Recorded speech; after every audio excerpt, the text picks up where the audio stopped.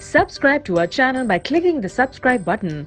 Click the bell button and enjoy the latest uploads from our channel. Question number 19. For pollination to take place, pollen grains need to be transferred to the stigma. Pollen grains को stigma तक पहुँचना ज़रूरी है अगर fertilisation होनी है किसी plant में किसी फ्लावर में किसी फ्लावर में फर्टिलाइजेशन होने के लिए which part of the flower produce the pollen grain कौन सा फ्लावर का पार्ट पोलन ग्रेन्स प्रोड्यूस करता है? मेल पार्ट होगा कोई। Give the property of stigma due to which it receives the pollen grain क्या प्रॉपर्टी है स्टिग्मा की जो पोलन ग्रेन्स को रिसीव कर सकता है? Pollen grains transfer to the stigma of the same flower name it कौन सी पॉलिनेशन है ये? जब स्टिग्मा ऑफ़ सेम फ्लावर में ही पोलन ग्रेन्स आकर बैठते हैं या अटैच होते हैं।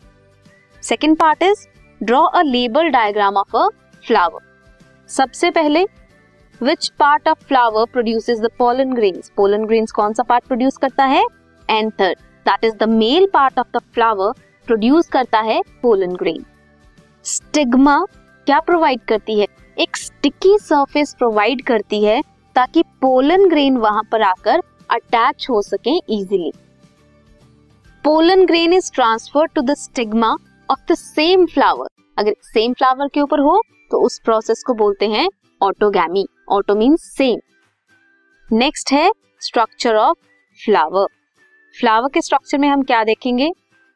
जो ग्रीन पार्ट है फ्लावर का, जो पेट लीव्स की तरह दिखता है दैट इज़ सेपल और जो कलरफुल पार्ट है फ्लावर का, जो पेटल्स हैं कलरफुल पार्ट हैं, जो अट्रैक्ट करती हैं किसी भी वेक्टर्स को.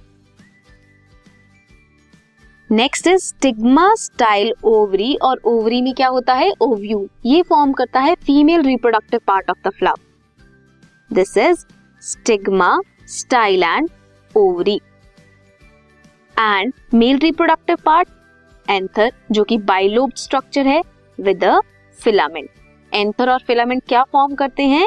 Male reproductive part of a flower so ये है कंप्लीट फ्लावर की diagram this was question number 19